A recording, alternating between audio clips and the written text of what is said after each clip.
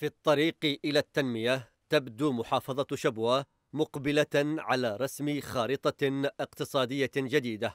فما يحدث فيها ليس مجرد وضع أحجار أساس للزينة كما يقول محافظها بل تدشين حقيقي للعمل المفيد لشبوة ولغيرها من المحافظات.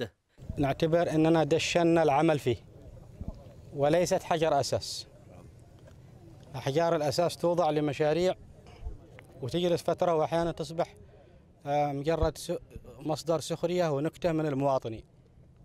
فاليوم ليست حجر أساس إنما تدشين للعمل بداية العمل. ففي منطقة النشيمة بمديرية رضوم افتتح المحافظ محمد صالح بن عديو مشروع منشأة النشيمة للخزن الاستراتيجي للمشتقات النفطية بسعة تخزينية تبلغ ثلاثين ألف طن متري. ومرسى عائم يمتد ثلاثة آلاف متر في عرض البحر. الآن السعة التخزينية ثلاثين ألف طن متري خمسة عشر ألف طن بترول خمسة عشر ألف طن ديزل. إضافة إلى خزان مياه لاستخدامه للإطفاء. يتزامن تدشين هذا المشروع الاستراتيجي مع مؤامرات خارجية ومحاولات فوضى داخلية تديرها قوى مسلحة تتبع الانتقالي. ولذا ظهرت تصريحات المحافظ من عديو واضحة في هذا السياق بأن السلطة المحلية مستعدة لبتر اليد التي ستمتد لإيقاف هذا المشروع النفطي. لا يمكن نسمح لأي إنسان أن يعبث أو يوقف العمل. إحنا مستعدين أن نبتر اليد التي تمتد لإيقاف هذا المشروع. وأي قائد سيفشل سيتم محاسبته.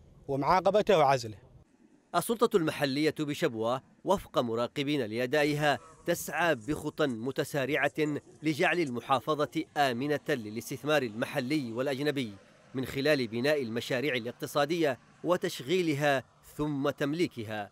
وقد تعهد محافظها بتوفير الحماية للمستثمرين وعدم أخذ الإتاوات منهم.